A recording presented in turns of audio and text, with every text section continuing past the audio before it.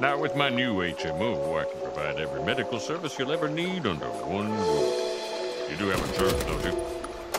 Yes. Well, that's wonderful. Let's go visit the optometrist.